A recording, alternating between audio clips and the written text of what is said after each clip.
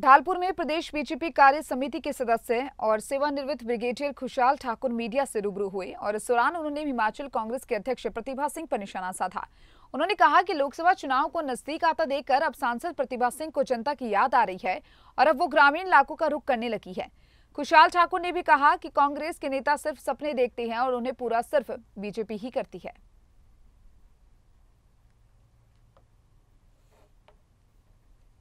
पिछले कल मंडी क्षेत्र के बरोट के इलाके में, जोगिंदरनगर के इलाके में हमारी सांसद महोदय जो थी इलेक्शन जीतने के बाद पहली बार एक पर्यटन का, के हिसाब से दौरा कर रही थी और अचानक उनको भूभू जोत की याद आ गई। और बड़े हास्यप्रद उन्होंने कहा कि इसके लिए पूर्व में रहे मुख्यमंत्री राजा वीरभद्र सिंह जी ने पैसों का, पैसे भी दे दिए थे और इसका काम भी शुरू हो गया था। और ये राजा वीरभद्र सिंह जी का सपना था। अब देखिए सपना था तो फिर आप पैसे भी मिल गए और काम भी शुरू हो गया। तो ये कहाँ पर काम हुआ और कहाँ पर पैसा मिला?